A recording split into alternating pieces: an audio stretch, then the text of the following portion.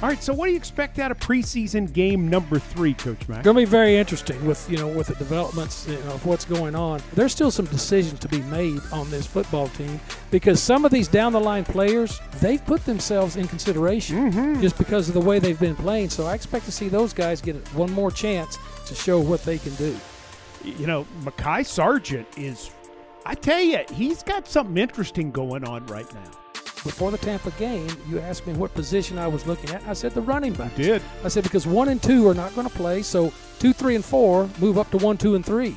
And so let's see what they can do. Mekhi Sargent is taking full advantage of this of this opportunity he has coming in here as a free agent from Iowa. You know what's really interesting is when you talk to the head coach and the general manager about Mekhi Sargent, they both start smiling.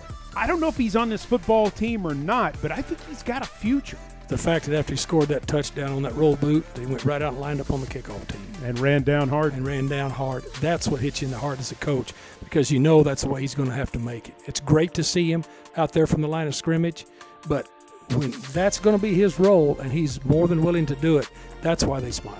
he's certainly taking advantage of, of the opportunities um, in special teams as well. And we, we all know uh, in this league, in this position, if if you can't help the team in special teams, you you start to you start to kind of minimize opportunities uh, to make teams, whether you're here or anywhere else in the NFL. So he's done a, a really really good job of taking advantage of the opportunities. I mean, I think that's what this organization is about. That's the way it's been since we walked in with with John and Coach Vrabes. It's one of the things we can sell to free agents uh, when, when whether they're college free agents or someone that's coming in from around the league. That you come here and you do your job, you'll get an opportunity to show what you can do, and if you can help the team win, you'll be in there.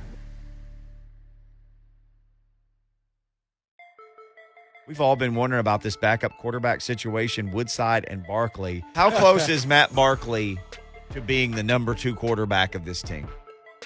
Well, he certainly took a step forward Saturday night, I think. Again, it's a numbers game. Uh, with what Matt Barkley was able to do the other night, you know, I, I think he's got a, a serious shot to be the backup. But every time that Logan Woodside throws a dime to, you know, Dez Fitzpatrick, who needed a shock paddle in this thing, you know, it makes you think. Yeah, I think you just want, for that position, you want constant competition. I think that's been the mode the whole way since we've been here, and uh, that continues. Logan's awesome. Love that guy. Nothing changes for him. He just comes in and competes every day, locked in, ready to go. Um, that's one of those redeeming traits that he's always had and has uh, helped him be here. You know, Matt has a lot of arm talent. He really does. And uh, he's done a good job of picking up the system. It's hard coming in and then all of a sudden be thrown out there, learn the system. But he's been around a lot. Um, each day it gets a little better for him. Uh, so far, it's been good to be able to operate the offense and, and get us in the end zone. I mean, I'm a pro. This is kind of what I've had to do for the last eight years of my career, and um, was semi-familiar with this offense. Don't have a whole lot of experience with it, uh, but as things are kind of starting to come back, um, I'm starting to get used to the play calls, uh, and, and that's really the, the toughest part is just being able to spit out play calls and being able to visualize everything. Because at the end of the day, football is football. You know, I know how to read defenses, know how to see the big picture. Routes are routes which you've run before, but it's being able to speak the language, be on the same picture with, with Todd and uh, and the offense, uh, and, and really just getting timing down with these guys because like that route to, to Mason I had not thrown in practice before. So at the same time, it's a route you've thrown before to other guys, so you kind of just got to trust that he's going to be there. Uh, but as time progresses and I'm here longer, you know, hopefully that progresses as well. Nissan Stadium is the home of the preseason finale between the Tennessee Titans and Chicago Bears. The Vrabel-less Titans have the chance to show their foundation of Vrabel football is firmly in place, even without the head coach in the house.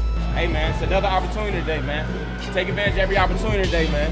We at home today for the first time, and let's go shot in front of these fans. Let's go make some plays, man. Run around, hit hard, get some picks, baby. Let's go. That's how I want. Razor Blade is in the building. We got the Tennessee Titans in the building. We're gonna do our thing again, once again, baby. Let's do it. Y'all already know. I don't even gotta say it. It's game day. Come on. And we're about ready for the third and final preseason game of 2021. Hey, hey, let, let's empty the tank, man. Let's empty the tank. Empty the tank, empty the tank, man. Scoreless game, 7.57 to go in the first. Fields in the gun with Williams on his right hip on fourth and one. Going to give it to Williams right up the middle.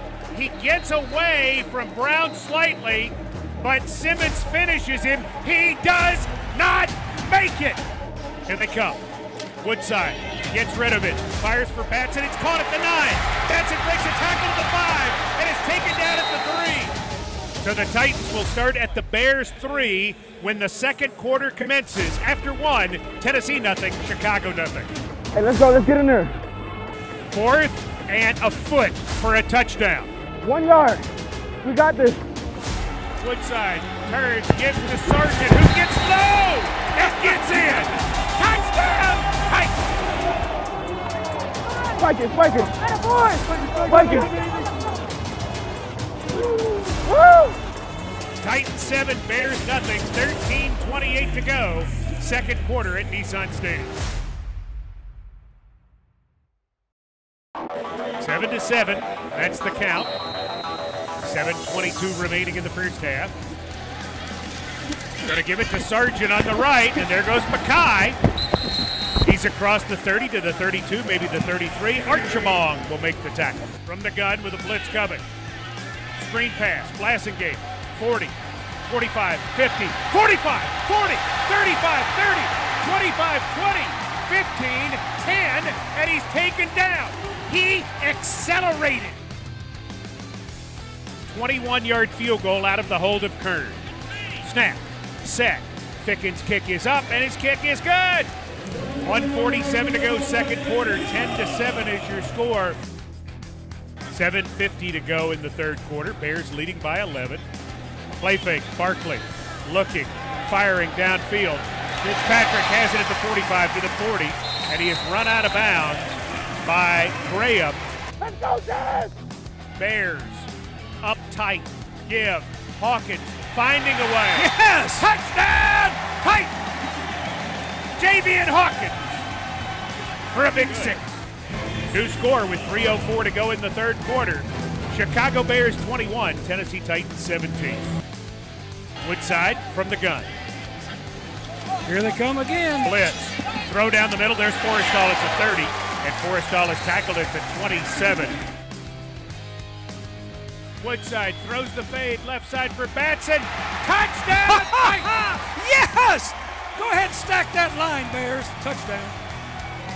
Cameron Batson.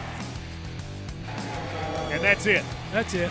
Final score Chicago Bears 27, Tennessee Titans 24. We left a lot on the table. Still a lot of room to be done. Still a lot of room for improvement. You know, I think history has shown that they've made some pretty good decisions. It's nice to be in a in a spot where there is competitive roster battles and there are some tough decisions to make. Uh, and I think that that's a testament to how hard all these guys have worked.